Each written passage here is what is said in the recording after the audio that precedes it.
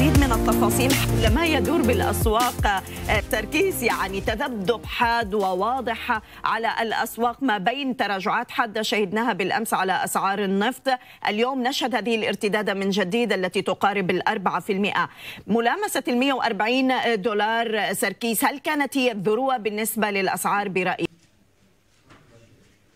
آه نهاركم سعيد. بالفعل شهدنا تقلبات كبيرة في أسعار النفط وفي أسواق الطاقة بشكل عام بل إن السلع بشكل آه إجمالي حول العالم شهدت يوم أمس أكبر انخفاض إن صح التعبير انخفاض جماعي منذ عام 2008 انخفضت عقود النفط الأمريكي الخفيف 12% برنت 13% لكن يجب أن نتذكر بأن أسعار النفط ما تزال مرتفعة على مدى هذا الشهر بنحو 16 17% الأسواق الماليه حاليا تترقب أي مستجدات بخصوص التوترات الجيوسياسية بالنسبة لروسيا وأوكرانيا، لكن هنالك بعض التفاؤل نوعا ما مقارنة فيما كنا عليه قبل أسبوع وذلك بعد أن توجهت الدول بحسب الجهات الرسمية التي أعلنت بانها ستقوم بالإفراج عن الاحتياطيات الاستراتيجية، عدة دول ستقوم بالإفراج عن 61.7 مليون برميل لتقليل تقلبات الأسواق المالية كذلك الأمر هنالك بعض الأنباء التي أشارت إلى أن الإمارات العربية المتحدة ربما ستدعم رفعا بالإنتاج، هذا كله تسبب يوم أمس في الانخفاض الذي حصل في أسعار الطاقة، لكن في نفس الوقت يجب الا نستهين في التوترات الجيوسياسية بين روسيا وأوكرانيا، فنحن نتحدث عن منتج للنفط بحوالي أكثر من 10 إلى 11 مليون برميل يوميا، وبالتالي قد يكون من الصعب تسديد هذا العجز إن حصل بالفعل. الآن المتداولين ينظرون إلى أن أوروبا وضعت خطة إلى ثمان سنوات وليس بشكل حالي للاستغناء عن النفط الروسي كذلك الأمر في بريطانيا.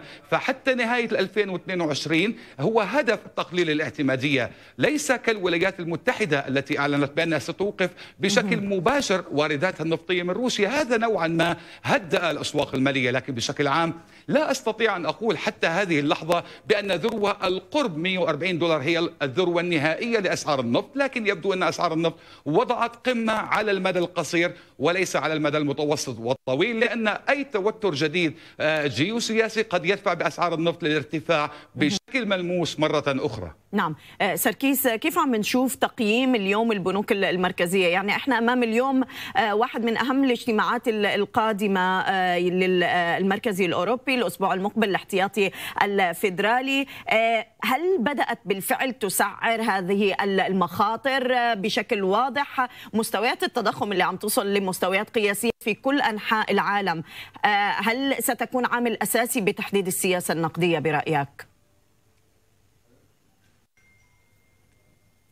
فعلا مثل ما تفضلتي مستويات التضخم عالميا عم ترتفع بشكل جنوني إن صح. التعبير في الولايات المتحدة اليوم عم ننتظر بيانات مؤشر أسعار المستهلكين اللي ممكن تظهر ارتفاع معدل التضخم بحسب المؤشر إلى 7.9% عم نتكلم عن تضخم في أمريكا الأعلى منذ 40 أو أكثر من 40 عام. في أوروبا مستوى قياسي 5.8% أين المشكلة؟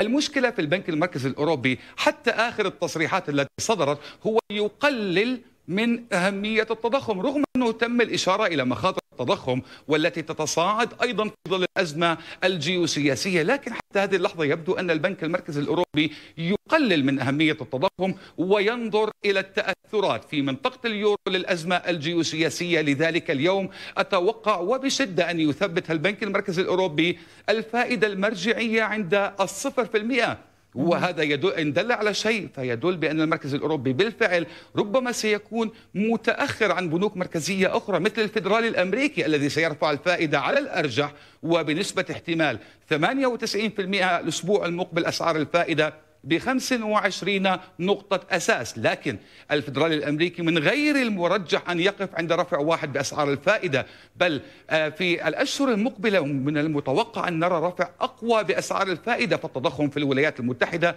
أصبح مقلق. البنوك المركزية ربما ستتوجه بشكل عام لتجديد السياسة النقدية لكن بالنسبة للبنك المركزي الأوروبي فربما سيكون متأخر عن البنوك المركزية الأخرى والتي منها البنك الاحتياطي الفدرالي الأمريكي وقد يؤجل المركز الأوروبي رفع الفائدة حتى الربع الرابع القادم من هذه السنة. فتختلف وجهات نظر البنوك المركزية. المركز الأوروبي ينظر إلى مخاطر التضخم لكن أيضا إلى مخاطر النمو. الفدرالي الامريكي حاليا يتوجه أكثر لرقابة الارتفاع الهائل في معدلات التضخم والذي يهدد بوصول الاقتصاد العالمي إلى مراحل اقتصادية خطيرة. قد نتحدث عن ال stagflation أو الركود التضخمي كما مر في أعوام في السبعينات من القرن الماضي. نعم. سركيس هل هذا يفسر التحركات اللي عم نشوفها لزوج اليورو دولار بالوقت الحالي وهذا الارتفاع لليورو أمام الدولار؟ يعني هل بدأ فعلا يحتسب أي قرارات بأنه قد لا يكون هناك سرعة باتخاذ قرار رفع أسعار الفائدة من المركزي الأوروبي؟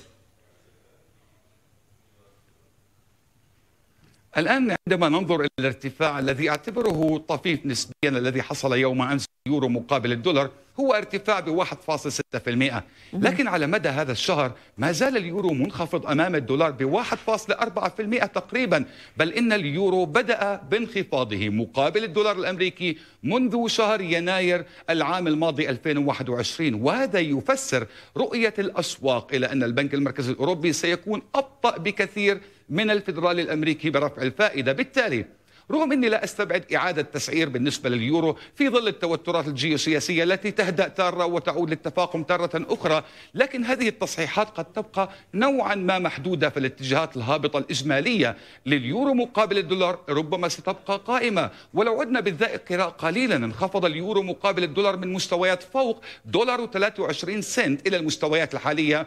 حول دولار و10 سنت فارتفاعه من دولار و8 سنت إلى دولار و10 سنت أمريكي. يعتبر طفيف مقارنة بالانخفاضات الحادة التي بدأت منذ بداية العام الماضي. وبالضبط كما تفضلت فيبدو أن الأسواق المالية تسعر بشكل عام سرعة الفدرالي الأمريكي برفع الفائدة مقارنة بالبنك المركزي الأوروبي لكن ما نشهده من ارتفاعات حاليا هي قد تكون ارتفاعات مؤقتة على المدى القصير. نعم الملاذات الآمنة ما زالت عامل أساسي خلال هذه الفترة سركيس يعني والذهب اللي وصل لذروة تقترب من ال 2000 دولار وهي ذروة 2020 عدنا لأيضا بعض التراجعات اليوم وتراجعات حادة. هل تعتبر هي عملية تصحيحية اليوم للذهب أم هي استراحة نسبيا من هذا المستوى؟ ثم سنرى عودة المكاسب من جديد؟